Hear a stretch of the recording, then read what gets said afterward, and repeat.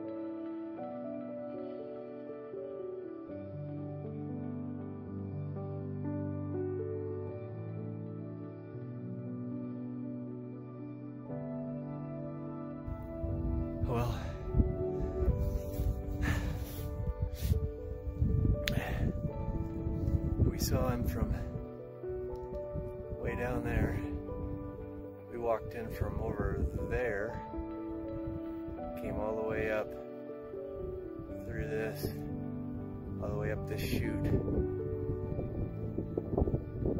And there he is. The ravens got to him this morning, tore him up a little bit. He broke off one of his horns, but we got him. And I don't know how we're gonna get him out of here, but we made it up here.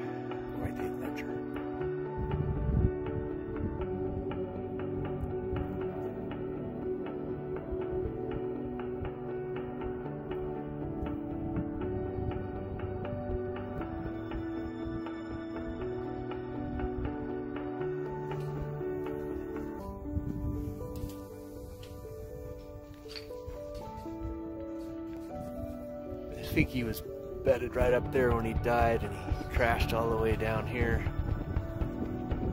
All the way down here, there's fur.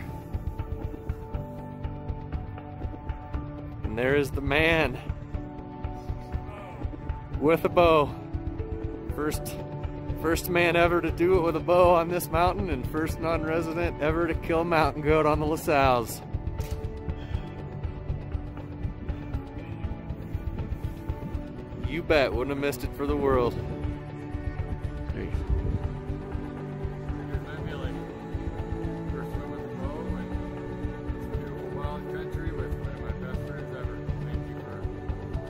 Who supported me. This is, this is something special. Pretty awesome, man. It was an adventure. And uh, Stories to tell. we still got quite the adventure to get him down off of here. if people could see we gotta go down here. Yeah. We are on top of the world right now. There it is. Pretty incredible. Thank you.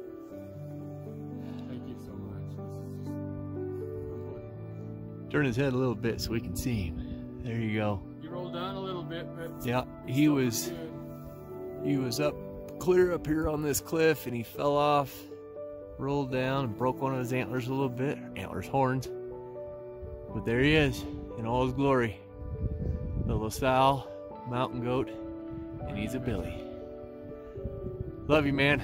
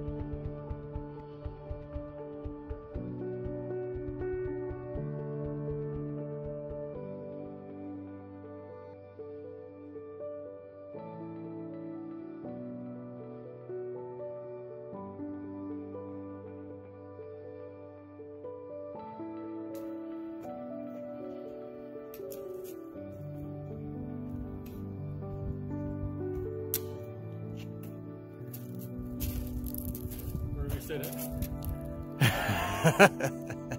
he made it. Made it. and now we can celebrate.